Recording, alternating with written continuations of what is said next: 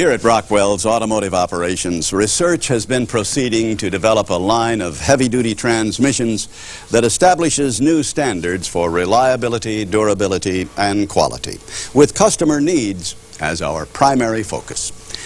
Work is proceeding on the crudely conceived idea of an instrument that would not only supply inverse reactive current for use in unilateral phase detractors, but would also be capable of automatically synchronizing cardinal grammeters. Such an instrument is the turboencabulator. This was the idea. 41 monastically spaced grouting brushes were arranged to fade into the rotor slipstream a mixture of high S-value phenyl hydrobenzamine and 5% remunerative tetraiodohexamine. Now, as you may remember from your high school days, both of these liquids have specific peristocities given by the formula P equals 2.5 C times 6.7 over N, where N, of course, is the diethical evolute of retrograde temperature phase disposition, and C in that formula being Cholmondeley's annular grid coefficient.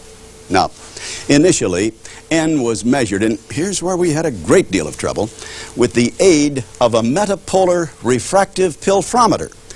And of course, for a description of that ingenious instrument that saved us a great deal of work, we referred to Dr. David Blumenstein's book, Zeitschrift für Elektrotechnische Statischer Donnerblitzer. That was Blumenstein's seventh volume, I believe.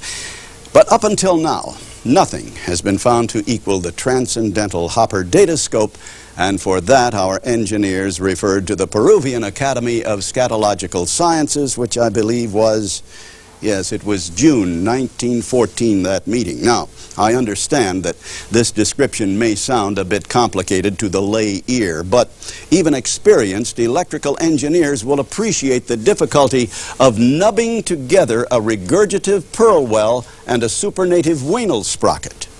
Indeed, this proved to be a stumbling block to further development we were at our wits' end until in 1984 it was found that the use of anhydrous nangling pins enabled a cryptonaptic bowling shim to be tankered.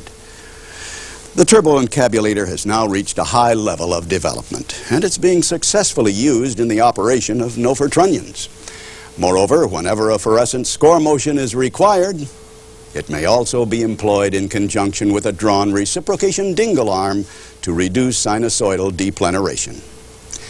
Now, we realize that $59 billion is a great deal of money, but we at Rockwell Automotive believe sincerely our customers are worth it.